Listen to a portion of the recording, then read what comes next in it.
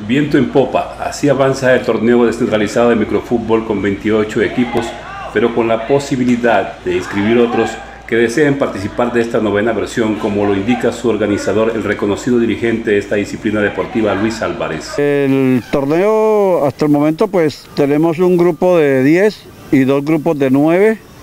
Eh, de ingresar dos más, pues los tres eh, grupos de 10. Eh, ha habido buena acogida. Eso sí, teniendo muy en cuenta las normas de bioseguridad, estamos siendo muy celosos con eso, muy exigentes con los equipos. Los organizadores son muy estrictos en el cumplimiento de las normas de bioseguridad con ocasión de la pandemia del COVID-19. Los partidos los estamos eh, programando a partir de las 7 y cuarto de la noche. Eh, quiero aprovechar y hacerle mucho énfasis a los participantes, delegados, técnicos, jugadores, el uso del tapabocas.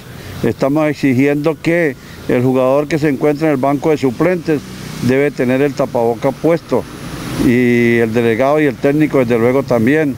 Y eh, también hacerle un llamado al público que nos está acompañando, que guardemos las distancias, que guardemos la norma, que usemos el tapaboca, que nos cuidemos entre todos. La organización recuerda que hasta el momento el torneo no cuenta con patrocinador alguno, pero la premiación de esta versión está garantizada. Como casi siempre sucede en estos deportes de barriada, en el deporte popular, eh, como es el microfútbol, pues no tenemos un patrocinio para el torneo, no tenemos un patrocinio, estamos a la espera de que alguna empresa, alguna entidad, persona eh, se vincule con el evento. Eh, es un evento que lo hacemos para, para que haya una integración del personal en estos momentos difíciles.